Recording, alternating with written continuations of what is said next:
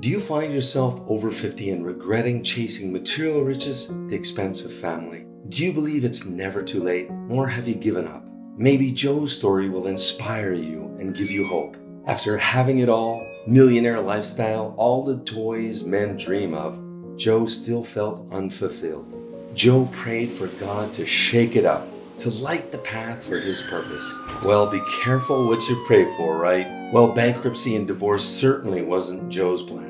In hindsight, it was God's. Joe found himself 50, divorced, bankrupt, and homeless. Little did he know his best years lay ahead. Well, fast forward five years, Joe is happily married to his beautiful soulmate Anna, lives the traveling nomad capitalist lifestyle, and his lifelong dream of being a dad has come true. Twice, with two darling daughters, and another on the way.